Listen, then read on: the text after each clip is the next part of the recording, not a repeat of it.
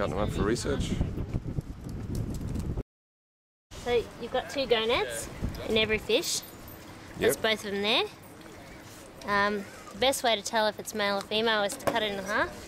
If it's solid like that, um, it's male. Male. So if you squeeze it, sometimes the milk will come out. Yep. Just that. Yeah, and the females are really hollow sausage, like a sausage skin.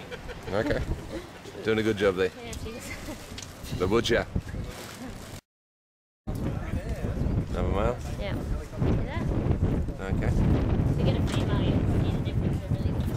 And what else do you do with the heads here after the? Well, I'm going to take the otolith out in a minute. So just trying to make it quicker for everyone so they can go. So it looks really different. Yep.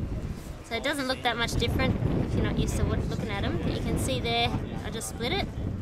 It's like a sausage skin. Okay. So see it's how it's hollow. Yep. So when you chop it, yeah.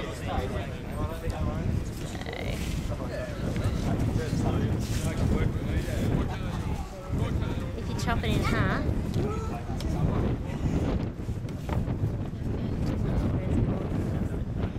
yeah, you can't really see because I split it, but it is like a s- like Okay. it's Yep. got that funny wall. What are you looking for here? So we're taking the otolith out of the. Um, an otolith sits below the brain. From the from that we can tell the age of the fish.